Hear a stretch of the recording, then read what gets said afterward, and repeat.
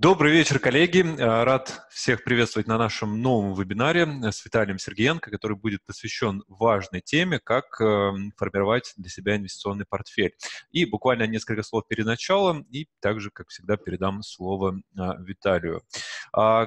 Как всегда, перед началом нашего вебинара это предупреждение о рисках. Всегда важно помнить о том, что торговля на финансовых рынках она связана с рисками, и не стоит переходить а, к торговле на реальном счете или использовать какие-то идеи, пока вы не ознакомились со всеми рисками. Ну, более подробную информацию сейчас вы видите а, перед собой. А также для тех, кто присутствует впервые на наших вебинарах, хотелось бы несколько слов сказать по а, компании Admiral Markets и рассказать, э, что же такое а, наша компания. Кстати, напишите, пожалуйста, плюсики, кто у нас а, присутствует первый раз, ну или поставьте цифру 1, чтобы нам не запутаться в количестве плюсиков.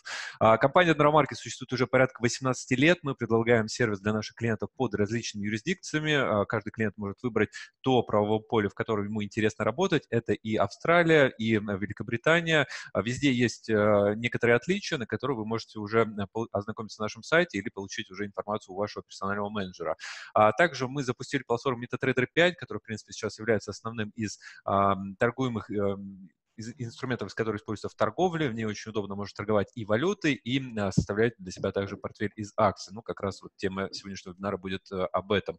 А, удобный способ пополнения, вот вывод а, максимально комфортно, с минимальными комиссиями. И также сейчас для а, жителей России мы запустили возможность пополнять счет в рублях, ввести счет в рублях и также выводить в рублях. Но я думаю, что Виталий сегодня тоже будет говорить про рубль. Ну, по крайней мере, для тех, кому это интересно. Конечно, порой выгоднее вести торговлю именно в валюте, в которой вы торгуете, да, то есть, например, доллары или евро, но, тем не менее, такая возможность а, также присутствует. А, мы предоставляем минимальные издержки по торговым инструментам, если брать основные евро-доллар, то есть это 0,6 пункта, DAX 0,8 пункта, если говорить об акциях, как раз американского рынка, то мы даем комиссию 1 цент на акцию, то есть, но не менее 1 доллара, то есть покупая в принципе, одну акцию, да, то есть вы платите комиссию 1 а, цент. А, мы предлагаем более 8 тысяч торговых инструментов, то есть сюда включены не только а, американские акции, также есть акции европейские, поэтому с полным списком вы также можете ознакомиться на сайте, но вот как раз счет Admiral Invest, он для этого им предназначен, который также был запущен не так давно, он предоставляет торговлю, торговую возможность именно без кредитного плеча, именно купил и держи, получая выплаты дивидендов и формирует для себя инвестиционный портфель. А также с точки зрения образования мы пред, предлагаем а, различные а, обучающие вебинары, да, как мы проводим сейчас с Виталием.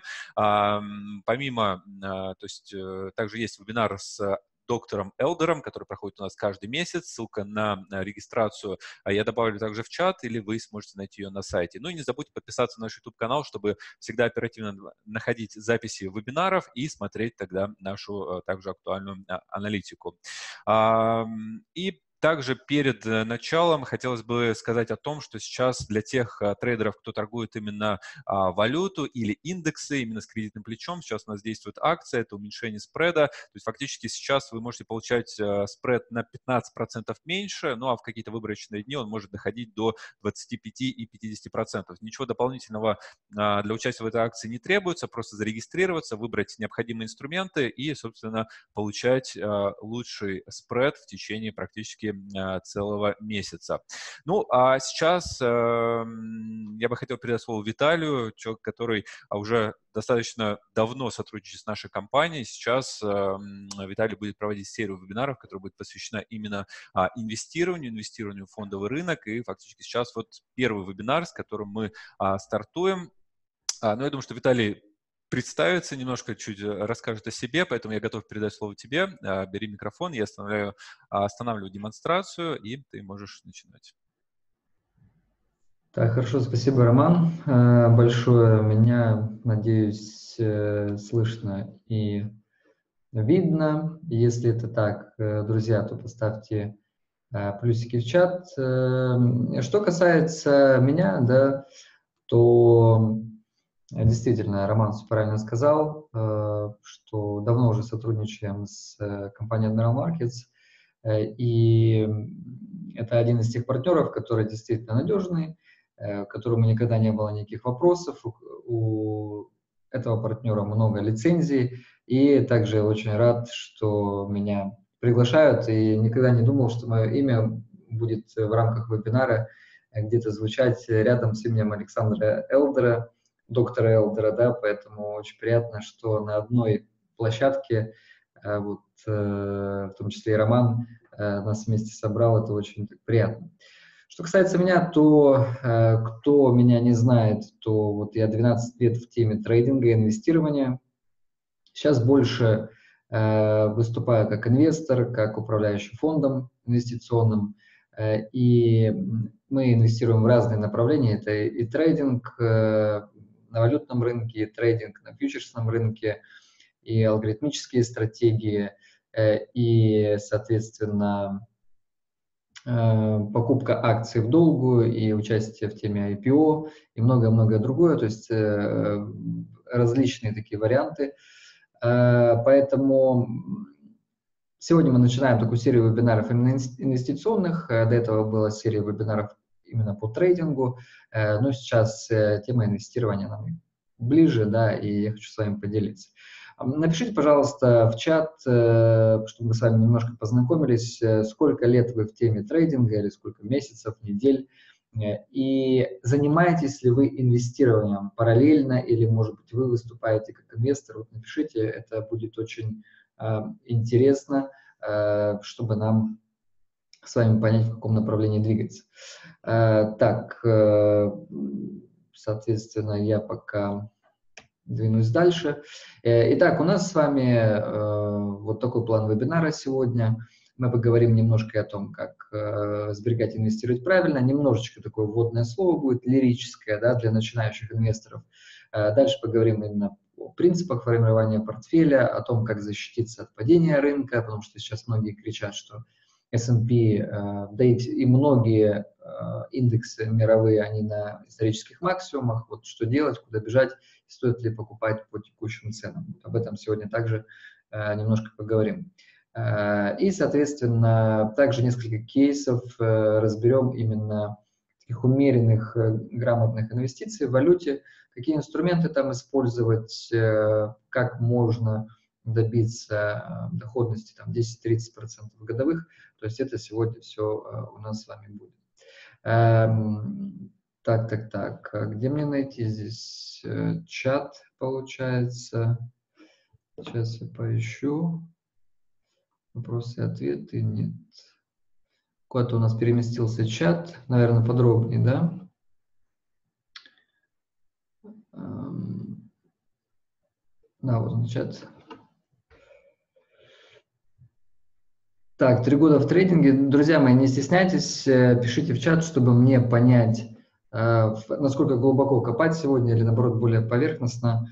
Эм, три года в трейдинге – это это хорошо, да. Надо понять, сколько у нас э, теперь в инвестировании. Итак, пишите пока в чат, мы поедем дальше, да, чтобы нам с вами не задерживаться.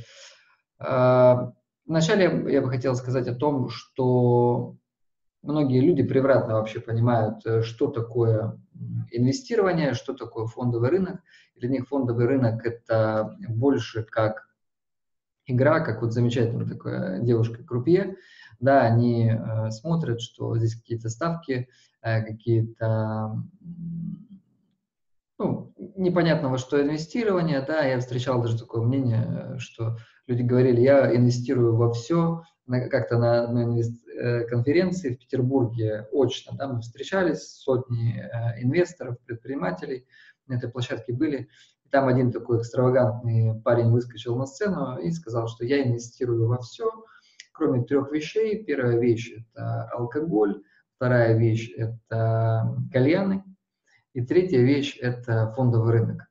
И вот мне тогда стало так смешно и обидно, с другой стороны, потому что я понял, насколько э, люди не понимают, о чем они говорят, э, и насколько люди многие далеки от фондового рынка, ведь если бы они были чуть более э, грамотные, да, э, допустим, вот этот человек, который так говорил, то он бы понял, что э, фондовый рынок это не что иное, как marketplace, то есть место, где грамотные люди, люди с большими деньгами продают и покупают бизнесы. То есть это не что-то такое воздушное, облачное, да, то есть это конкретное э, место, да, где можно купить долю в самых крупных, самых успешных, самых прибыльных бизнесах в мире, таких как там Starbucks, McDonald's, Apple, Google, Facebook и так далее. То есть где вы еще можете купить частичку этой компании, а акция или пай какого-то фонда – это не что иное, как как раз частичка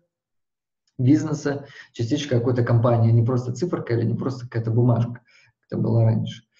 Эм, поэтому для меня фондовая биржа – это на самом деле очень классное место, то место, где э, есть варианты э, зарабатывать на росте бизнесов э, различных компаний. Поэтому вам предлагаю также в этой теме разобраться. И я не против спекуляции, не против трейдинга, так как сам трейдер с 12-летним опытом но э, за 12 лет я понял одну простую вещь, что трейдинг это очень непростое дело, непростое ремесло, и где-то инвестирование для большинства людей подходит больше, нежели трейдинг, потому что все-таки э, процент выживаемости трейдеров, э, он очень низкий, э, а инвесторов, наоборот, очень высокий, порядка 90%.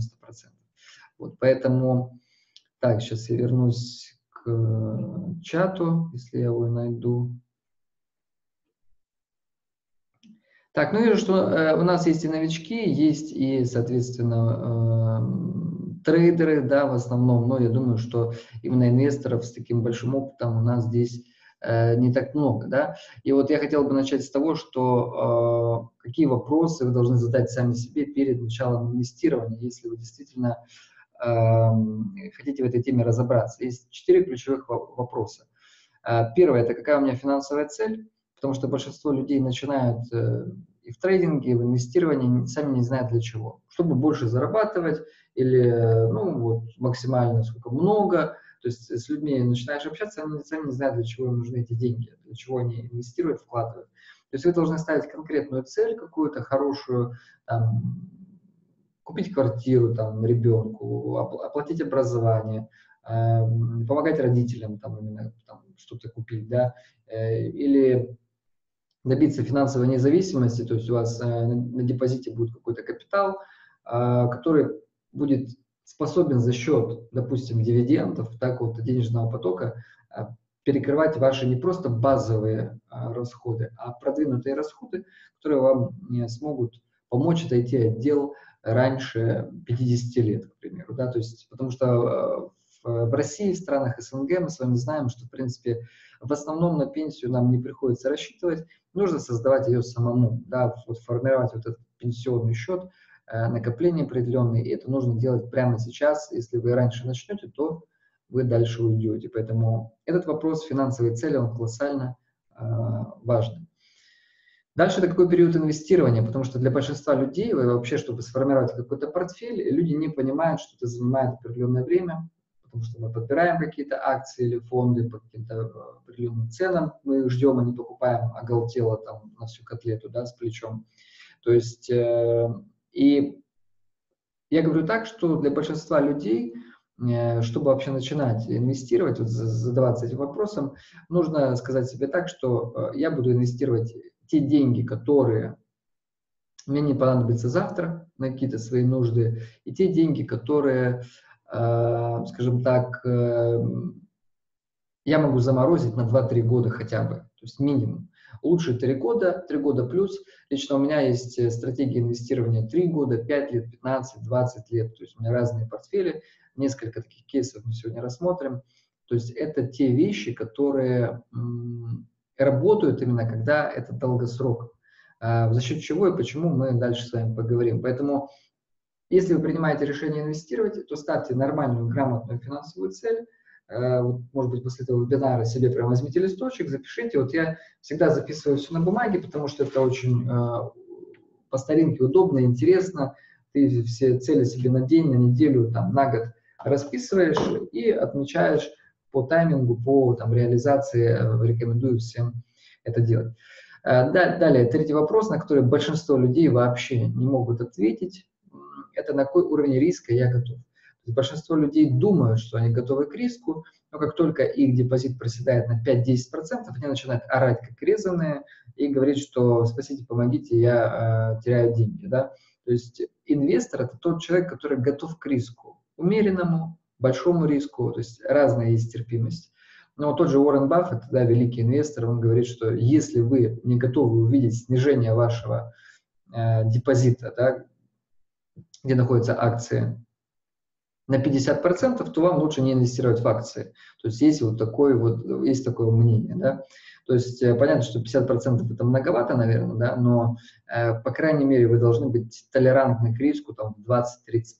То есть если вы чувствуете, что вы не умрете, да, если потеряете 20-30% в моменте из-за волатильности рынка или какой-то акции, э, то вам стоит вообще задумываться над инвестированием, потому что это все-таки не трейдинг, где маленькие сделки, постоянные там стопы, тейки, то есть здесь нужно все-таки э, иногда даже порадоваться тому, что акция свалилась, да, потому что нам дают возможность подешевле эту акцию купить.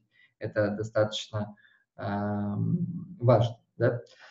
Э, и это хорошая возможность, особенно в преддверии каких-то там кризисов, рецессий и так далее. Э, и четвертый тотально важный вопрос – это готовы ли вы э, пополнять свой счет в течение какого-то периода. То есть или вы настроены просто на рост капитала, пополняете, не знаю, там, на 10 тысяч евро свой счет, или оставляете его на 3 года, сформировав какой-то портфель из ценных бумаг.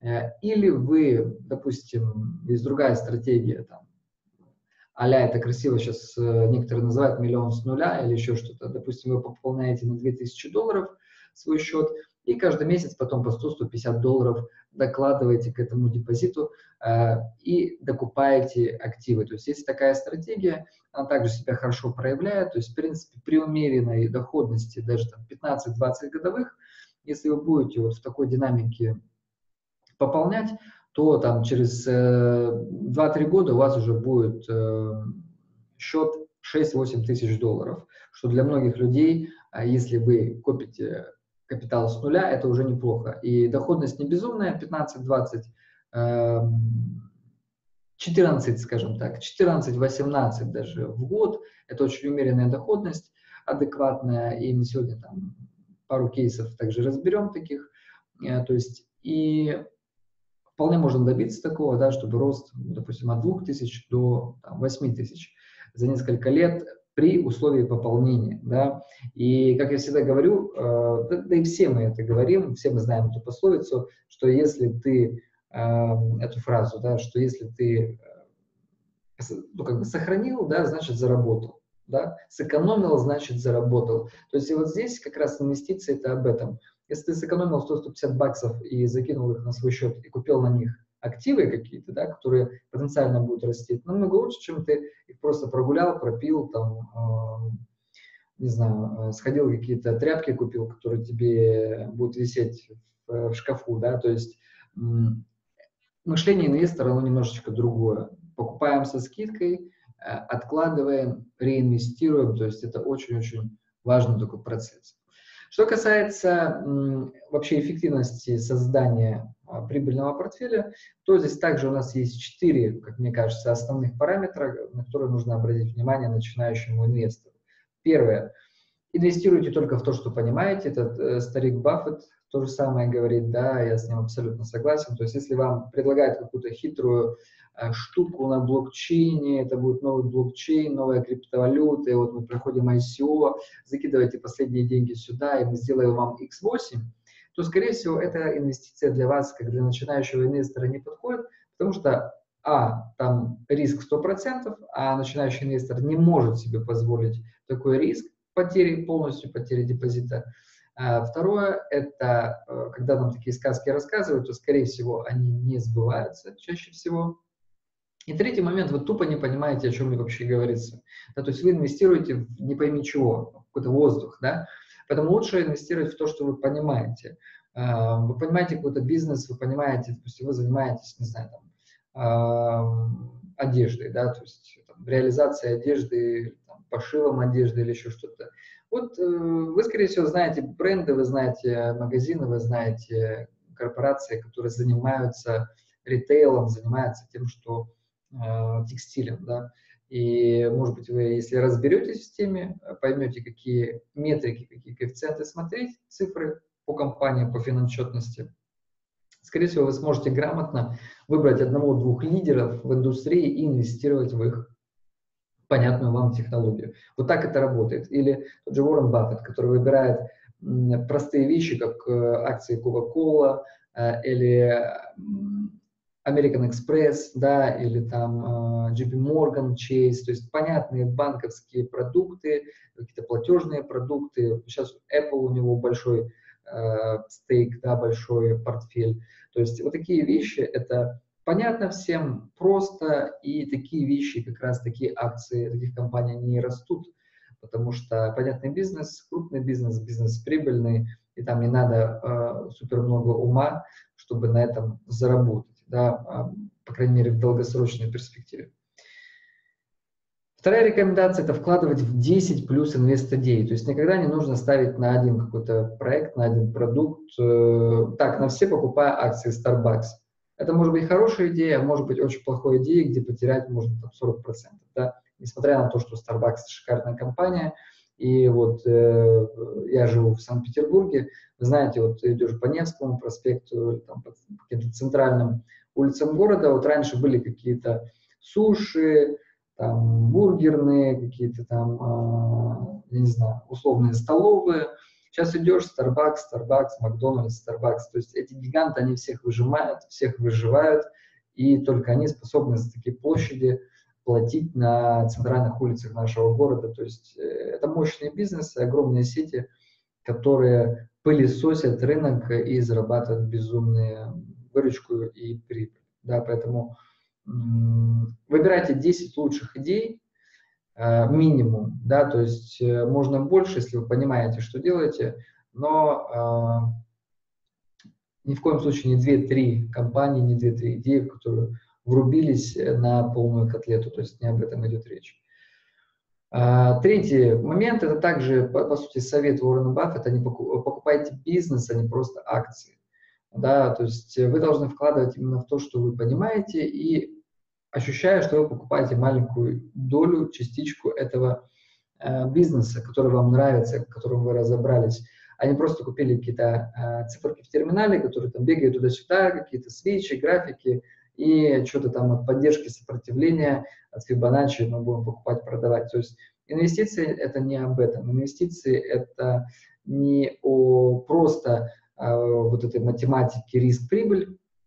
То есть здесь все-таки на понимание Э, на ожидание, что будет с какой-то компанией через 2-3 года, да, через год, э, и инвестиция вот в такие идеи. Ну и четвертый момент – это э, ищите новые идеи. То есть понятно, что сейчас не надо идти покупать Макдональдс или Starbucks, потому что они там на исторических хаях, и эти компании в моменте уже переоценены, конечно, и только э, можно мечтать о кризисе, да, о какой-то рецессии в Америке – чтобы эти компании хлопнулись там на 30-40%, и чтобы грамотные инвесторы, э, умные инвесторы э, эти компании подобрали и поместили в свой портфель. Поэтому э, я как трейдер раньше кризиса не боялся, потому что трейдер зарабатывает и в одну сторону, и во вторую, то есть хедж есть определенный. Потом, когда я был начинающим инвестором, я кризис боялся, как и многие, да, что акции упадут, что я там потеряю деньги и так далее. Сейчас уже как продвинутый более инвестор, я кризис жду, потому что я хочу купить акции со скидкой 30-50% э, и оставляю кэш, для этого подушку безопасности, чтобы если вдруг э, у нас с вами рынок хлопнется, да, или какие-то акции отдельные на каких-то новостных историях упадут, то э, чтобы их прикупить. Да. Так, друзья, э, вот этот момент понятен. Ставьте плюсик в чат, пожалуйста, чтобы я понял, что мы с вами на одной волне.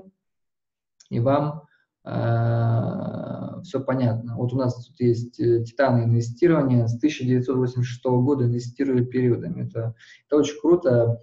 Надо вам уже вебинар проводить. 33 года опыт инвестирования, это, это очень круто. Хотя я понимаю, что в те годы, конечно, там инвестиции немножко были другие, да, другие бизнесы немножко были. Э, так, вижу плюсики, ну, погнали дальше тогда. Э, Соответственно, дальше, дальше у нас идет мясо, дальше идет конкретика. Это первое, что мы должны с вами э, искать и находить, это новые идеи, новые тренды. И вот э, я для вас подготовил несколько слайдов. Э, они любезно предоставлены компанией Bloomberg, скажем так, да, э, минутка рекламы. Э, и это динамика ключевых секторов э, США за или на, э, ну, за год последний, да, э, а в принципе вот с апреля там, э, ну, не, не самые такие свежие данные, с апреля по апрель 2019 года, да, и вот мы видим, первое, что мы здесь видим, нужно четко понимать, что все отрасли, да, тут разные сектора, то есть IT, финансы, Э, э, industrials, materials, э, допустим, там real estate – это недвижимость, или там потребительские товары, healthcare – это что у нас все уже вылетело из головы, здравоохранение, да, utilities – это у нас коммуналка, materials – это добыча, да, там, допустим, золотодобывающие штуки, там, нефтяные, Э, индустрии разные, финансы, то есть это все, вот все эти графики, видите, они в принципе сонаправлены. Просто некоторые тренды, э, точнее некоторые обваливаются сильнее, какие-то умеренно снижаются, да. И вот несколько здесь идей я вам э, дам. Первое – это IT. Смотрите, синенькая вот эта история, она очень волатильна, но при этом э, у правого края, края графика восстанавливается быстрее всех, и где-то вот э, небольшой такой хайп, пузырь, э, в том числе и за счет IPO, очень прибыльных последних за этот год выходов компаний, как раз как раз находится на максимуме. Дальше черная график – это real estate, это недвижка, которую также можно приобрести через фондовый рынок, э, через, покупая акции ПАИ компаний, которые занимаются отелями, хостелами, а, домами престарелых, эм, допустим, сдачей в аренду каких-то там а, аутлетов, да, каких-то торговых помещений. То есть это все также покупается через фондовый рынок. Есть такая возможность. Это очень крутая история. И вот мы видим, что, допустим, а, по сравнению с другими недвижка упала незначительно и потихонечку восстанавливалась. То есть также сонаправленно, но волатильность меньше. Да? А финансы ни рыба, ни мясо, это вот зеленая вот эта история, то есть финансисты и падают быстро, в принципе, но не так быстро, как многие другие, и при этом восстанавливаются спокойно, ну, где-то болтаются около нуля, знаете, так, по итогам года. Э, средний такой рост. Э, что здесь еще на себя обращает внимание? Вот, э, healthcare, да, то есть э, здравоохранение, они сейчас у правого графика они намного выше, то есть здравоохранение – это очень перспективная история. Как бы мы все здесь в одной лодке, то есть люди болеют, люди умирают, люди хотят жить дольше. Здравоохранение – это такой интересный тренд, и здесь есть перспективы, есть здесь будущее, да скажем так. Э, что себя чувствует э, не особо, это там, допустим, э, materials, да, там добыча, естественно. Вот финансы, такие аутсайдеры. Ну, есть средненькие здесь, да, мы не говорим то, что вообще не интересно. То есть основные вот такие вещи, основные направления я вам сказал, да. Но если двинуться дальше, э, также Bloomberg дает э, вот, э, информацию по средствам от своих аналитиков, они выделяют здесь сектора с потенциальным максимальным ростом на, на год, и вот максимальный рост это 15%. Как вы видите, здесь у нас energy, да, энергетика, healthcare, здравоохранение и э, сервисы, коммуникационные сервисы, да. А, Materials здесь также 8,2 заблудились, да, но в целом мы видим энергетика, здравоохранение и, э, скажем так, э, сервисы да, коммуникационные. 10-15%. Это очень здорово. В аутсайдерах у нас utilities – это коммуналка и real estate – полтора процента, около того. Да, то есть вот по этой метрике у нас как будто бы у недвижки не такие большие перспективы, не так интересно. Но опять же, мы должны с вами четко понимать, что, допустим, если в преддверии какого-то кризиса, то э, такие вещи, наоборот, хоть и потенциал роста не, небольшой у э, коммуналки и э, недвижки, но, скорее всего, в ближайшую рецессию американскую эти штуки станут одними из защитных секторов, э, то есть в которые можно вкладывать даже на пиках, локальных пиков э, рынка, потому что недвижка, э, она падает намного меньше, чем, допустим, IT или там, энергетика или финансы, да, то есть это нужно четко понимать, там есть определенный вот защитный такой эффект. А, вот у нас три топ-лидера, да, то есть, казалось бы, так, все, бежим, покупаем энергетические компании, здравоохранение э, и коммуникационные э, службы, да. У меня есть еще такой слайд, это динамика прибыльности э, корпораций по отраслям год к году, по секторам, да, и здесь мы видим уже немножко другую, другую историю. Energy, которая у нас была фаворитом, рост на 15%, на самом деле по прибыльности именно они очень сильно провалились на четверть хуже год году, 18 к 19. Это очень э, плохой эффект, потому что вряд ли будет большой потенциал э, роста какого-то отрасли, да, если они проседают там по доходности, по прибыли. Поэтому энергетика – это не особая такая история, как мне кажется. И э, до сих пор она переоценена, если ее там оценивают еще рост 15%, вряд ли, то есть там идей никаких нет. IT, конечно, переоценено, но это ежу понятно, потому что IT-компании э, на исторических хаях, и при этом а, многие из них убыточные, и мы видим, что это здесь, наверное, тоже закладывается, что минус 8% год к году относительно такого, самых крупных компаний IT сектора Соединенных Штатов. А, S&P болтается около нуля, минус 2,3% немножко снижается. И вот здесь мы находим э, интересные опять э, плюшки, да, динамику. То есть э, опять у нас healthcare, то есть они у нас вот здесь были в топе, второе место по потенциалу роста. И здесь по прибыльности они на первом месте 4,4% да, по целому сектору. Также utilities 4.2, очень хороший результат. И даже real estate, про который все уже забыли, недвижка, все понятно.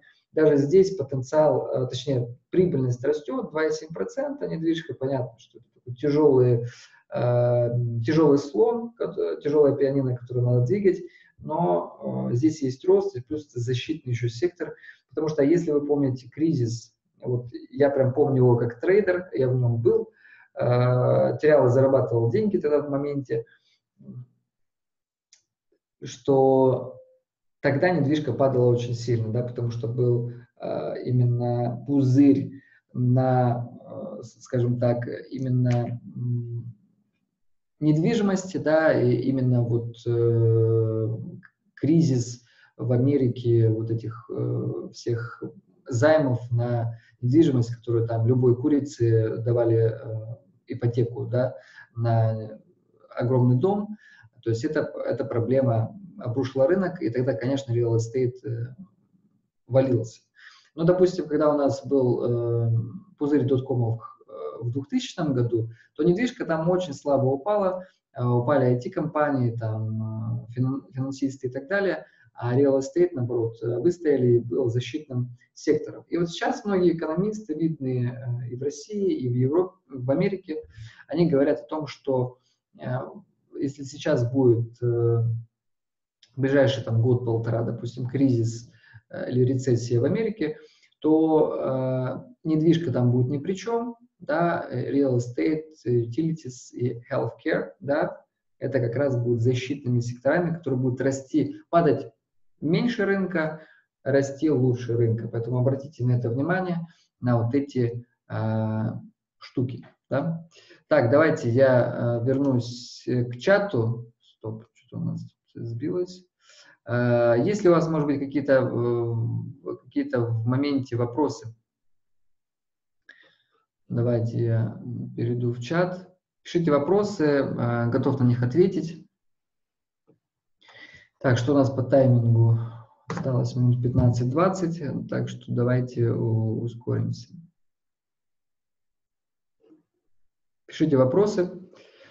Поэтому, если мы, мы смотрим на фондовый рынок, вот S&P сейчас, да, э, как выглядит исторический хай, практически, да, то есть у нас э, не, не практически вот по э, ETF на S&P 304 было недавно, сейчас 302, то есть, ну, исторический хай, немножко откатились там процент, вот, но в основном рынок э, на, на пикушке, то есть многие боятся, конечно, здесь заходить, боятся инвестировать в моменте, э, хотя многие боялись э, и здесь, и здесь, и здесь, когда рынок уже здесь э, снижался там на 17-20%, тем более боялись, хотя вот такие моменты, безусловно, самые выгодные, интересные для, для инвестирования. То есть это нужно понимать. Вот. Э, что касается, что касается следующего слайда, да, он такой э, закидывающий вам идеи, да, то есть если мы говорим про здравоохранение, как мы уже поняли, э, допустим, недвижку, э, то там нужно заглядывать внутрь сектора, выбирать самые сильные компании. То есть это понятно, я вам дал идею, то есть где искать, если вы хотите именно защитно сформировать портфель. Дальше здесь колоссально важная идея, это у вас должен быть кэш, то есть э, на депозитах, э, на брокерском счету, то есть вы должны иметь подушку такую безопасности э, в случае, если э, ваша какая-то акция любимая или защитная акция снижается, чтобы вы могли ее купить и чтобы у вас была возможность э, по выгодной цене зафиксировать доходность, да, или зафиксировать хорошую цену по акции. Поэтому кэш – в кризис это хорошая история, или перед, перед кризисом это всегда здорово, но здесь важная э, сноска, ссылка, что кэш должен быть валютный, а точнее кэш должен быть э, долларовый. Да? Меня часто спрашивают, почему э, не рубли, рубль самая крепкая валюта и так далее. Я всем людям, когда показываю вот этот график, э, это график с 98 -го года валютной пары доллар-рубль, и здесь у нас четкий однонаправленный тренд – который э, у нас идет только вверх. Да, мы видим это движение. Многие э, говорят, да нет же, рубль самая крепкая валюта.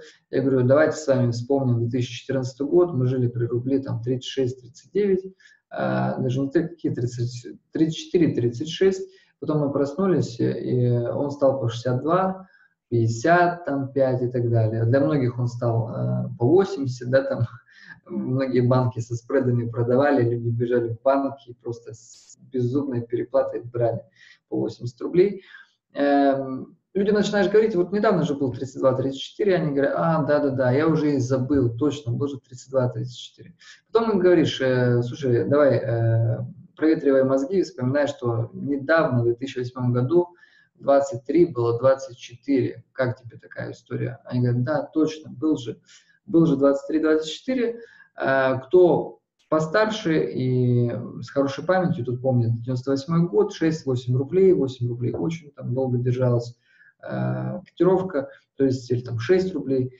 Э, поэтому, понимаете, за 20 лет с 6 рублей мы шагнули на 64-66, то есть это какая инфляция, какая девальвация.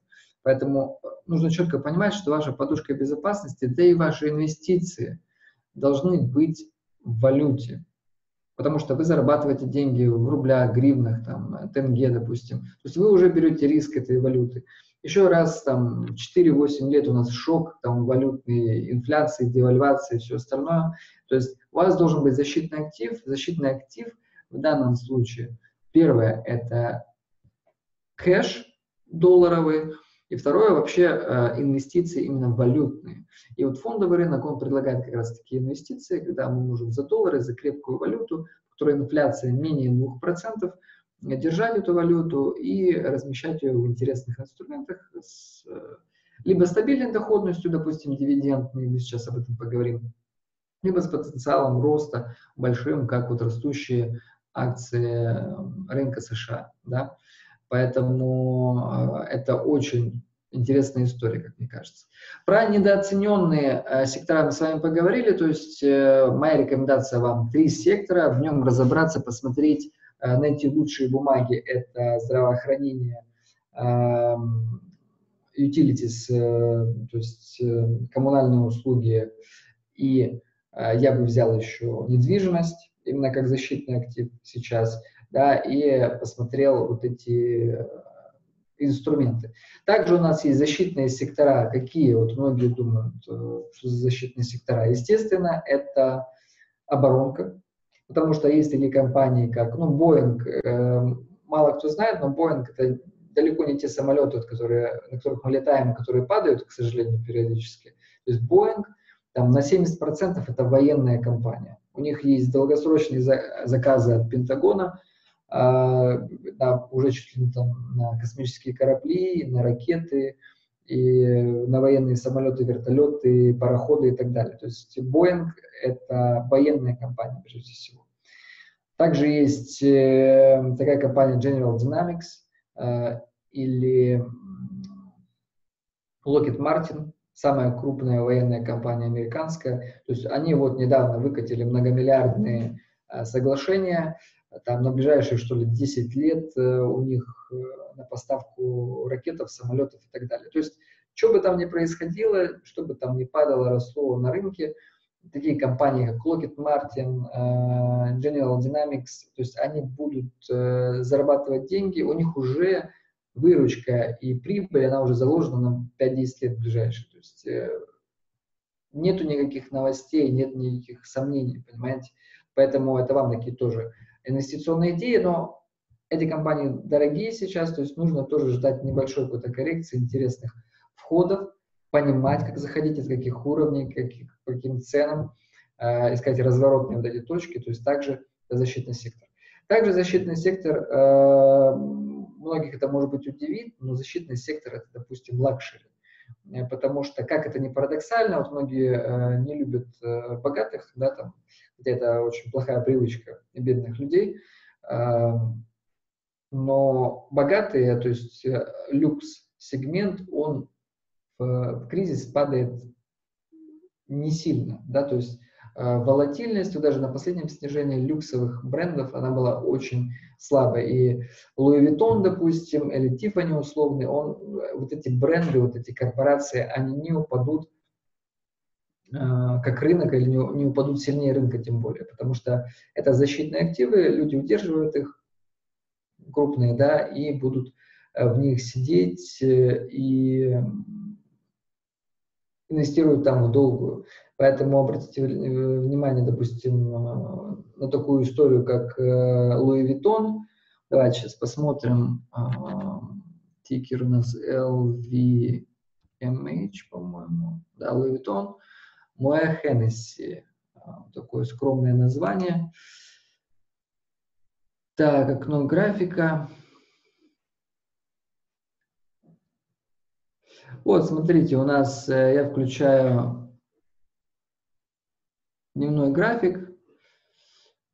И мы видим, да, тут можно даже включить там недельный график, и мы видим просто ракету вверх. Это вам не евро-доллар, не доллар-иена какая-нибудь или золото, там, это просто ракета, да, то есть 16 э, год мы стоим 140, сейчас э, мы стоим, так, эта штука, ну, сейчас мы стоим 400, то есть и биткоин не нужен, здесь без биткоина X3, э, Понимаете, то есть вот он, э, там кто-то что-то падает, здесь это просто постоянный рост, понимаете?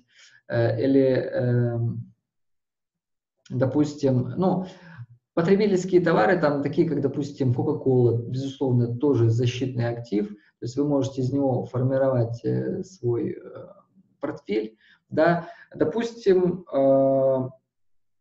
если мы берем тему с здравоохранением. Такая тема, как э, CVS. Это одна из самых интересных сейчас э, вещей. Э, CVS Health Corp – это у нас аптека, это сеть, самая крупнейшая в США сеть аптек. Да? Вот таким образом вы, выглядит график дневной, недельный не такой впечатляющий. Видите, здесь были определенные проблемы у компании. Но вот на уровне 54-55 и крупные фонды начали заходить, и статистика компании начала улучшаться.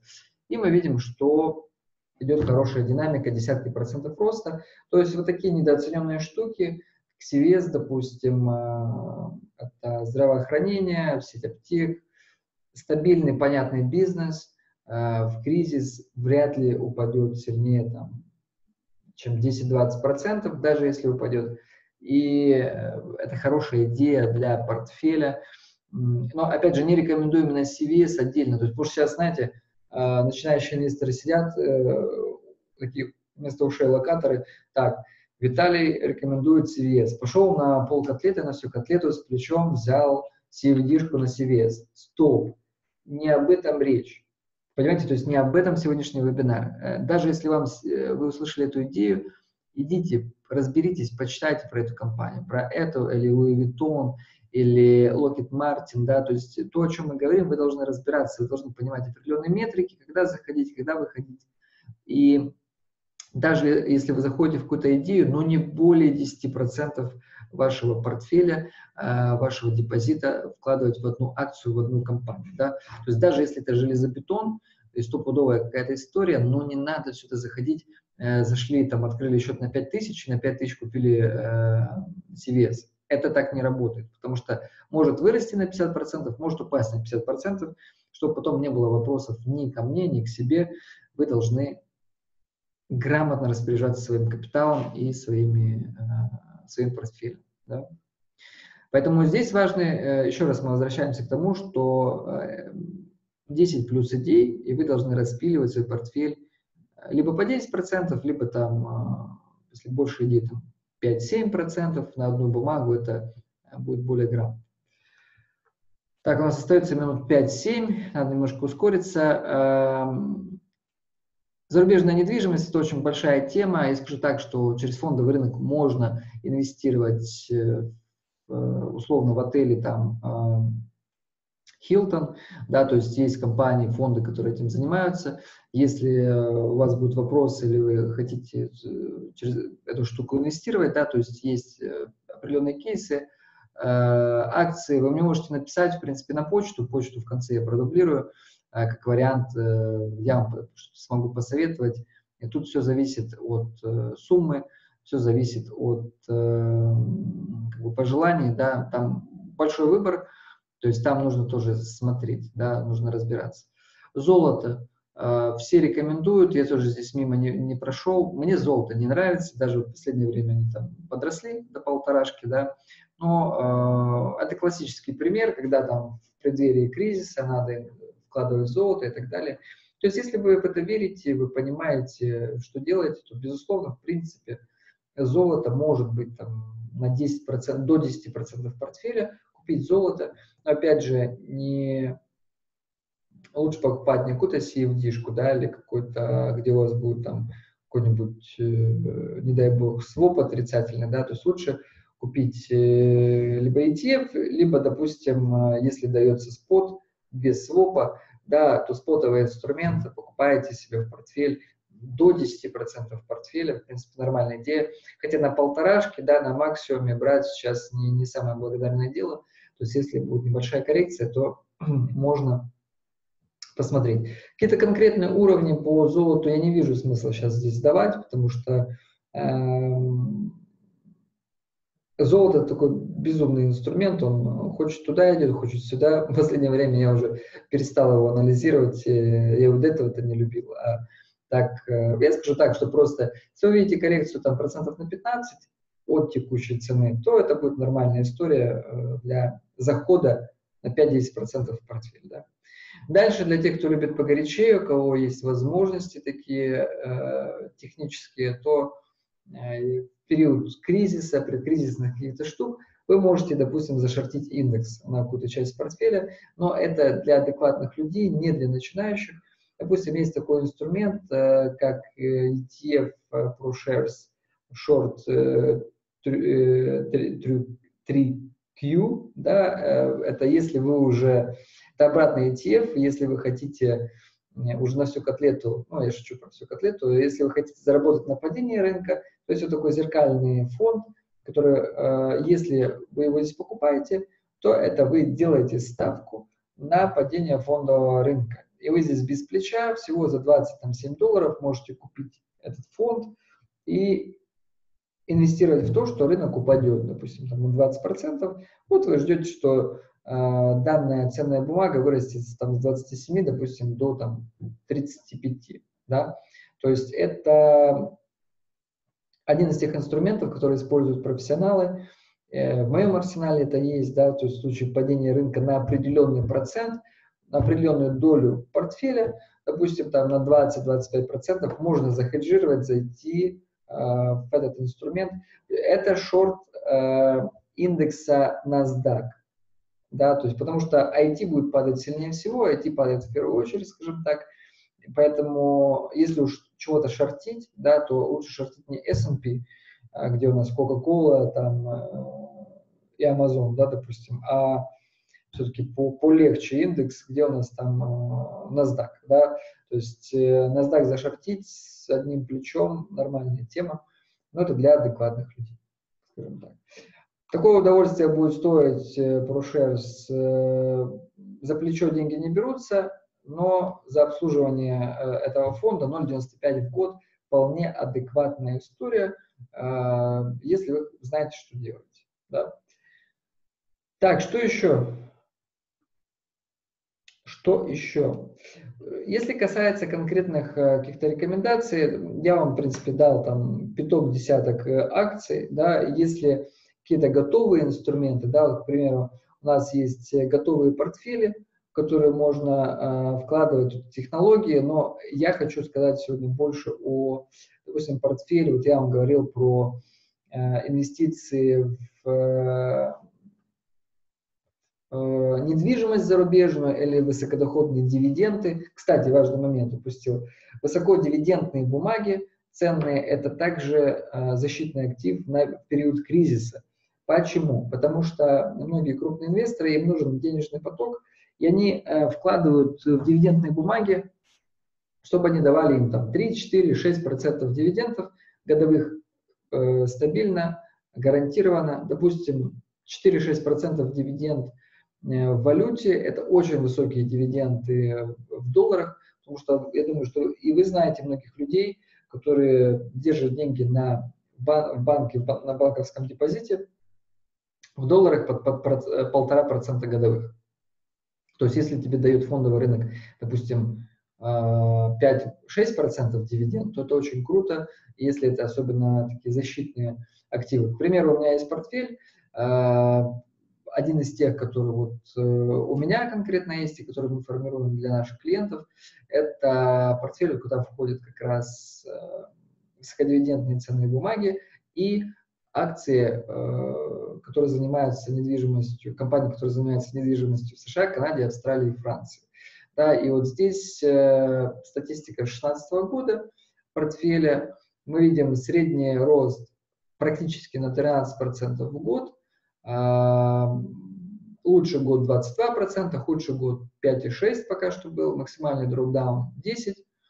Э, и в принципе мы видим, что с десятки стартового баланса э, у нас получилось 15 300 с 2016 года. То есть это очень хорошая динамика. Почему? Потому что здесь же проценты на проценты еще, да, плюс реинвестирование дивидендов. А вот в этом портфеле у нас сейчас э, дивидендная доходность 5,8-6% годовых. То есть этот доход в долларах гарантированный. Гарантированный. Причем он поступает в форме дивидендов ежемесячно. Это очень классная такая тема приятное, и ежемесячно вы видите, монетки падают к вам на счет, и вы можете их реинвестировать в эти же акции. То есть так это работает, это очень э, грамотный такой подход. Да? Это вот, э, и плюс еще также акции растут в год на несколько процентов, и плюс за счет реинвестирования дивидендов также у нас получается вот такая доходность практически 13 годовых. Да, то есть, э, ну, Цель вообще это 10-14 годовых вот с минимальными рисками делать э, на зарубежной недвижимости плюс дивидендные бумаги. Сейчас вот как выглядит портфель, это э, получается делать. Да? Э, также есть вот такой портфель, он, кстати, показывает даже меньше доходность, 10,5. Э, это портфель роста и дохода. Здесь у нас как раз здравоохранение, биотехи, плюс высокодивидендные акции США – ну вот за последнее время, видите, здесь потому что были просадки, здесь более долгосрочная такая динамика, плюс она учитывает, э, эта модель учитывает 7, 8, 9 год, да, чтобы все было по-честному. И вот эта доходность, она средняя, вот за это лохматое количество лет, понимаете? Но лучший год 46% в год, худший год минус 22,6%. То есть вы должны это четко понимать, что мы всегда в инвестировании берем усредненное значение. То есть не то, которое было в прошлом году э, или которое мы ожидаем в этом, усредненное за энное количество лет. Да, и, но бывают года феноменальные, бывают не очень хорошие. То есть э, инвестициях это вот именно так работает. Поэтому, видите, опережает этот э, инструмент, э, этот портфель индекс S&P достаточно значительно вот, по всем метрикам. А, Соответственно, любой, э, как добиться доходности, там, допустим, 30 годовых или больше, да, то есть любой инструмент можно брать, допустим, с половинчатым плечом, со вторым плечом, и получаешь доходность выше, но и волатильность счета выше. То есть это нужно понимать. Для начинающих инвесторов я, безусловно, не рекомендую брать какие-то э, плечи, да, то есть это не, э, не самая лучшая такая идея. Что из дивидендных таких аристократов, из тех э, компаний, которые платят дивиденды, там, не знаю, 50 лет уже и э, постоянно их увеличивают? Есть такая компания, как э, AT&T, да, я думаю, многие знают, это э, как раз телекомы, коммуникации. Они платят в 2019 году дивидендная доходность 3, ой, 6,32. Ожидается дивиденд на 2020 год 6,44. Классная доходность. Чтобы вы четко понимали, дивидендная доходность по всему широкому рынку S&P 1,81, то есть всего около 1,9%. Для русского человека или человека из постсоветского пространства, ну, какие-то нищенские проценты, 1,8 о чем. То есть для европейца, для американца это, это пассивная, это гарантированная доходность, 1,8 просто тебе падает. Это очень хорошая доходность, да. Э, тот же S&P вообще в целом, растет э, год, э, ну, в среднем в год около 9,5%. То есть, и при этом он там в космосе, и многие люди удваивают, утраивают деньги за несколько лет. То есть для рынка не надо э, каждый год расти на 50%, чтобы вырасти в итоге на сотни процентов. То есть здесь работает все-таки именно магия сложных процентов, поэтому когда вам акция растет там процентов на, не знаю, 10 в год, и вам еще платят 6% дивиденд, это уже бомба. То есть это уже 16%. И за несколько лет, да, если вы 3-5 лет будете инвестировать, то вы получите э, средняя э, доходность уже там не 14-16%, а намного выше. Особенно если вы будете реинвестировать э, дивиденды, как, допустим, мы делаем вот здесь. Да, то есть это с учетом реинвестирования дивидендов – как раз получается такая классная доходность, еще и ежемесячный дивиденд. А, вот такие дела, друзья. Но а, я так понимаю, что наше время уже закончилось, да, вот то, что мы сегодня с вами успели о чем поговорить, друзья, пишите, пожалуйста, свои вопросы, может быть, э, немножко успею ответить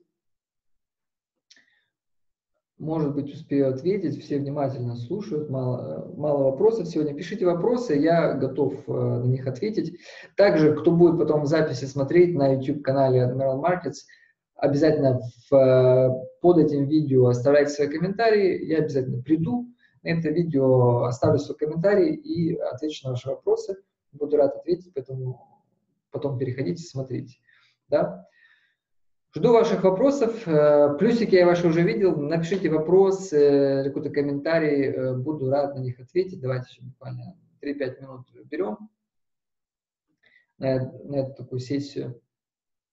Пока вы пишете вопросы, напоминаю фразу Уоррена Баффета, очень классную. Да? Никогда не, не попадайте в зависимость от единственного источника дохода. Инвестируйте, чтобы создать второй источник. Если вы хотите действительно добиться какой-то финансовой независимости, э, создать какие-то денежные потоки, то фондовый рынок – это одна из хороших идей. которая вам позволит инвестировать в лучшие компании с классным устойчивым бизнесом, растущим в мире, и получать дополнительные источники дохода. Поэтому это очень-очень важно. Э, я оставляю еще раз свою вот эту визиточку. Здесь есть официальный сайт, есть почта э, компании, куда вы можете написать. Мне перешлют э, ваши вопросы обязательно. То есть оставляйте с пометкой, допустим, Admiral Markets или там вебинар, да, там 3110. То есть я обязательно прочитаю и вам смогу ответить, допустим, по вопросам, по портфелям по каким-то, или вы, если вы хотите понять, как это работает, да, э, то я обязательно вам могу а, ответить. Так, э, так, не понял вопрос. Что касается, понимаю, что могут быть вопросы, что, а я как бы э, хочу сам, я не хочу там инвестировать, или я хочу получить какую-то консультацию, либо понять, куда смотреть, куда бежать. Да, то есть э, у нас также есть э, такой вариант. Э, вы можете, допустим, пройти обучение.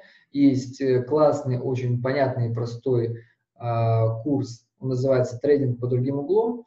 Это как раз курс обучения трейдингу и инвестированию на фондовом рынке, о том, как выбрать инструменты, как торговать по тренду, как